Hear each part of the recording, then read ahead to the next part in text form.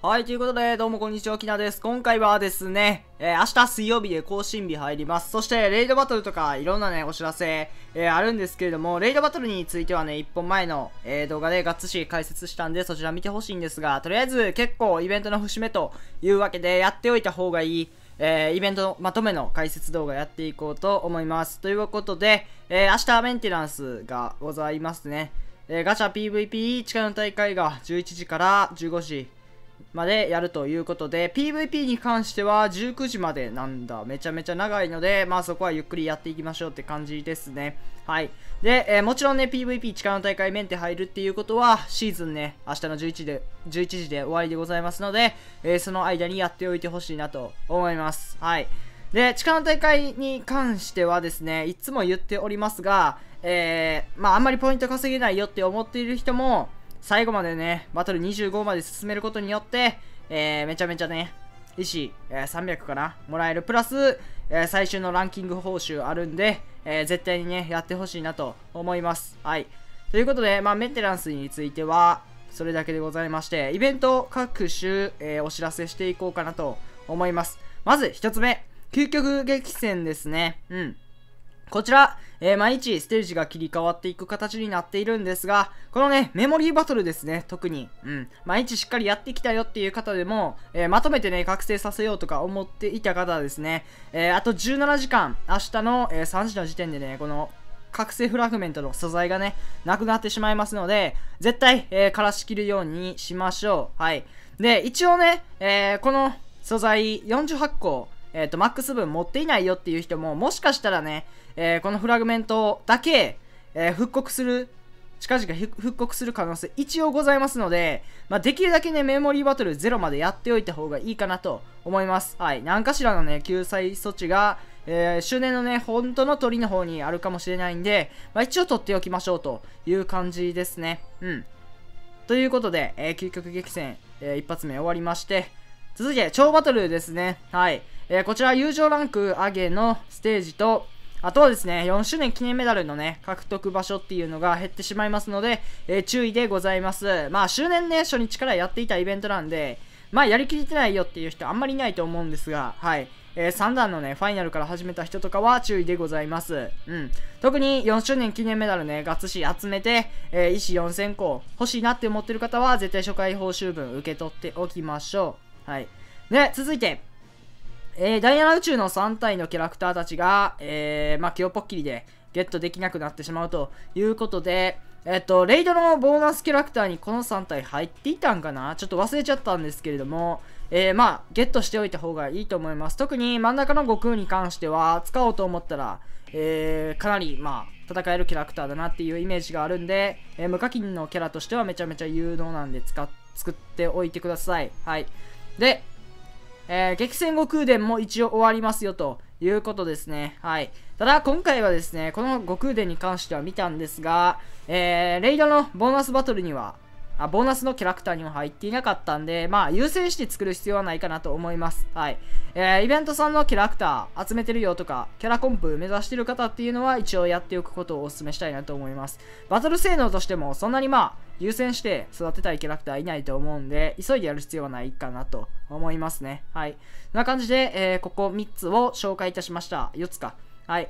で、めちゃめちゃ大事だね。これ、超軸ラッシュが、えー、明日の3時で終わってしまいますよということですね。はい。明日からシーズン変わるんで、また覚醒フラグメントを追加されるんかなとか思ったりしてるんで、えー、ぜひとも、はい、やっておいてください。で、えー、メダル集めている方に関してもですね、えー、毎回ね、この覚醒 Z パワーの、え切り替えがあるんで、優先して覚醒させたいなって思ってる Z パワーがあったら、えー、まあ、交換しておくことをお勧めいたしますといった感じでございます。はい。長軸ラッシュは数限られてるんで、絶対、えー、クリアできるところまでやってほしいなと思います。はい。そんな感じですね。うん。おすすめについては以上でございます。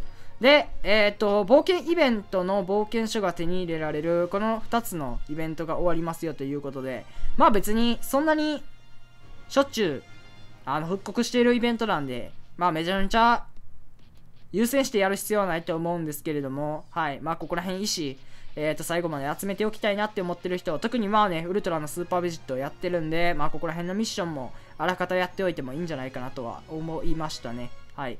えー、ということで、原作再現の話は終わりにしまして、そんなところですかね。はい。えー、大体のイベントについては喋れたかなと思いますので、えー、まあ、OK かなと。はい。で、ちょっと一応さっきのレイドイベントのやつで、あの力の大会の3体が入っていたのかどうかを見ていこうと思うんですが、はい、入っていますね。しかも、えっ、と、無課金の枠としてはかなりね、重要な、えー、3体というか、マックスで5枚手に入るんで、ここら辺のめちゃめちゃ特攻のキャラクターたち持っていない人っていうのは、えー、このね、さっきの第7宇宙の3体やっといた方がいいので、優先順位としてはかなり高めになってきますね。はい。長軸ラッシュやって、まあその後、えー、っと、この第7宇宙のキャラクターたち育てるっていうのがいいんじゃないかなと思います。はい。で、一応注意なんが、貫突させておかないと、マックスのね、えー、ボーナス5枚もらえないんで、はい、えー、明日からのレイドバトルのために絶対準備はしておいてほしいなというふうに思いますね。うん。そんな感じで、はい、えー、まあ、今回はイベントで、ね、やっておいてほしい、え、やつっていうのをまとめて紹介していきました。はい。あとはそんなに、まあ、がっつし喋ることはなかったかなと思いますね。はい。えっと、アンケートに関してなんですけれども、一応28日までっていうことで、えっと、あと1週間ぐらいはあるんですが、できるだけね、早いめにやっておいた方がいいかなと思います。これまた、えー、期間近づいてきたら動画にしようとは思っているんですが、えー、絶対ね、忘れないうちに、まあ、やり得なんでね、早いことをやっておいた方がいいかなと思いますんで、はい。えー、このタイミングで告知させていただこうかなと思います。告知というか警告ですね。で、交換所についての、話になってくるんですが、はい。えー、っと、超決勝のやつはもう終わっちゃったみたいですね。うん。で、ゴジータのこちらのイベントメダルが一応明日までっていうことなんで、はい。えー、これ交換しておいてもらえたらなと思いますね。まあ、ゴジタのステージ自体が終わってるんであれですが、はい。リムーバー足りないよとかいう人は、えー、交換しておいていいかなと思いますね。はい。で、防寒着のやつも同じくですね。これ結構強かった気するから、はい。えー、まあ、欲しい人はゲットしておいてもいいんじゃないかなと思いますね。防御タイプの極印つけれるということなんで、はい。結構、まあまあ使えるやつなんでね、はい。ガツシゲットしておいていただけたらなと思います。はい。えー、そんな感じですね。うん。で、えっ、ー、と、今日火曜日っていうことで、皆さん一応ログインし読でございますね。はい。えー、チューズデーメダルが今日も入っているっていうことで、あれ？あれ？お知らせにないんだ、あれ。チューズメ、チューズデーメダル一応入ってるんで、はい、受け取っておきましょう。うん。確か、今週、この1日と来週ぐらいで終わりなんかな？このメダルもらえるんが。なんでまあ、うん。リミテッドマルチとか、積極的に交換したいなって思ってる人は、火曜日特にね、毎回、ログインしてもらえたらなと思いますね。はい。こんな感じで、今回は、えー、明日ね、レイドバトルが来るっていうことで、え優先してやっておいてほしいイベントをまとめて紹介いたしました。はい。で、えー、まあ最終日なんですけど、今180位っていうことで、いけるかな？放置でも、うん、いけたらいいなっていう感じですが、もしかしたら夜潜るかもしれません。はい、PVP ね、皆さん自己ベストを目指して頑張っていきましょう。はい。僕ももっと目指して、まあちょっと様子見していこうと思います。それでは、お疲れ様でした。